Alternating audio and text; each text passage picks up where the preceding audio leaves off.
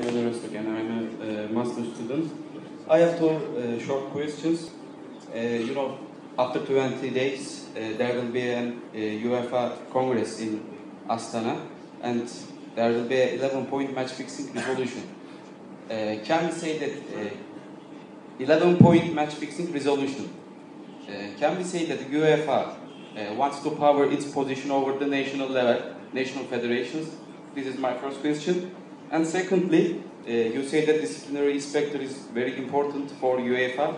And uh, before 10 days, UEFA gave a decision about the uh, Moldovan official in match fixing uh, very uh, fastly.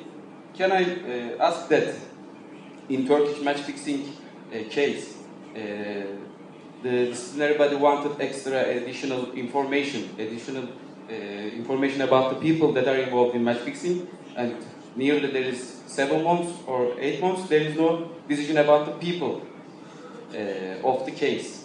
The, there are decisions about the clubs, but there are no decisions about uh, the people. Uh, I want to ask about this. Thank you. About the new rules, the new rules or the, the changements, well, I can,